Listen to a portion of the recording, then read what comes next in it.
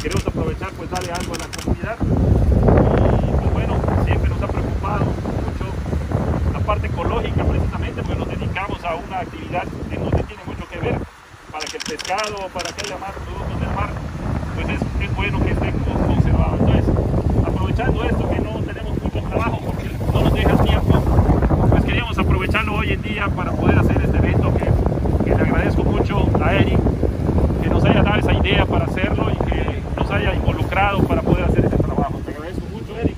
Y pues Ya lo conocen ustedes, Eric ya ha trabajado en Progreso en Prolimpia. Y bueno, ayer nos enteramos con mucho, con mucho gusto que, que lo acaban de nombrar director de, de ordenamiento pesquero en la Secretaría de Pesca. Y bueno, quiero decirles que lo conozco desde hace mucho tiempo y es una persona inquieta, siempre está buscando qué hacer para el beneficio del progreso y yo te agradezco mucho Eric que nos hayas dado la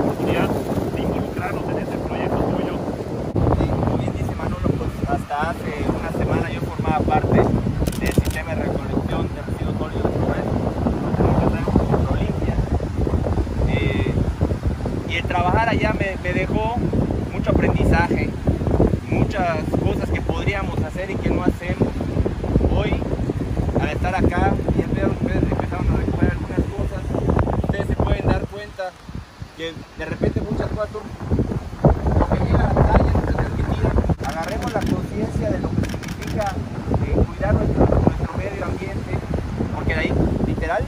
ahí comemos.